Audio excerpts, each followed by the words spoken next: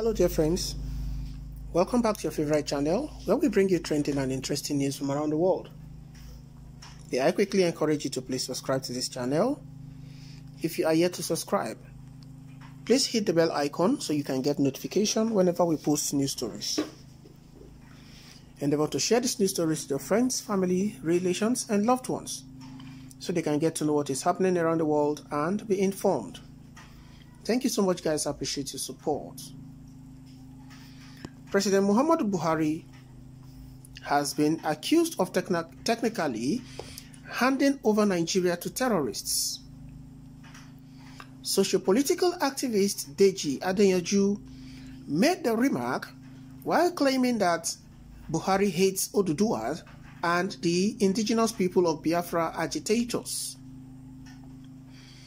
Reacting to a reported terrorist attack on a military base in Zamfara state.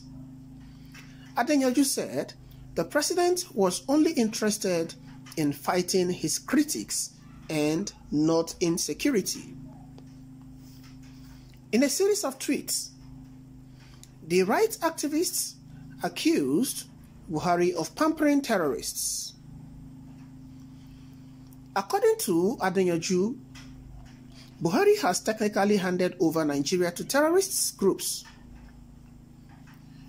The takeover of a military base yesterday in Zamfara state confirms this. He is not interested in fighting insecurity, but he is interested in fighting his critics and the opposition. He hates IPOB and the Oduduwa agitators so much, but he pampers terrorists in the northern part of the country. You will also see, so you will all see how Buhari will deploy 30,000 soldiers and police in an attempt to rig the Anambra elections. But he ignores all the security challenges in the north. These bandits have brought down a military jet and killed many soldiers and citizens, but he is not concerned.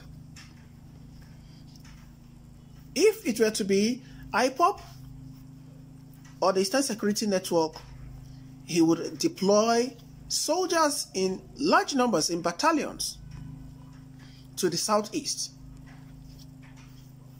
and he will order a shoot at sight in the southeast, but cannot order the same in the north. It is very evident that he has technically handed over Nigeria to the terrorists, Deji Adeyanju concluded. Alright guys, what are your thoughts concerning this particular opinion of um, Deji Adeyanju? Do you agree that here Buhari has handed over Nigeria to terrorists?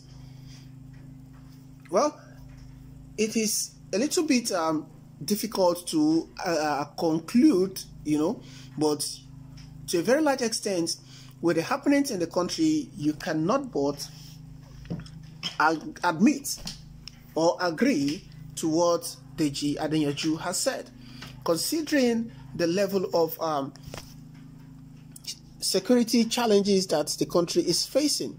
You cannot but, you know, want to agree with him. You know, with the level of insecurity in the country, with the level of uh, banditry in the country that is being experienced, with the way the, the bandits are, you know, operating in another part of the country, you cannot but agree that Nigeria has been handed over to terrorists. And to what end? Just because Nigeria has a president that has refused to do the needful. Just because the president has refused to fight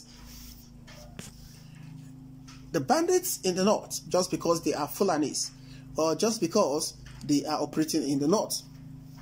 We've seen and heard governors come out to express their regrets on giving amnesty to these bandits, or to these terrorists rather. These terrorists, in a bid to actually allow them operate the Nigerian government reduced or stopped calling them bandits and gave them a calling them terrorists, but gave them a new name, bandits. When Nigerians were agitating that these guys should be proscribed, the Fulani headsmen, the bandits, and all whatever should be prescribed as terrorist groups. The Nigerian government, up until today, led by President Muhammadu Buhari, has refused to to uh, prescribe them as terrorist organizations. But he was quick to prescribe IPOB that were only fighting for the interest of the Igbos who were marginalized by this same government of President Muhammadu Buhari. It is really, really sad and unfortunate, if you'd ask me, but to a very large extent. Large part of the northern part of the country might just, you know, have been captured by these terrorists, who majority of them, according to reports, if it were to be true, you know, came from other neighboring countries into Nigeria and have refused to go back. They have held sway in another part of the country. They have terrorized people. They have continued to terrorize. They have continued to, you know, kill, maim, destroy. They have continued to kidnap people for ransom. They attacked several,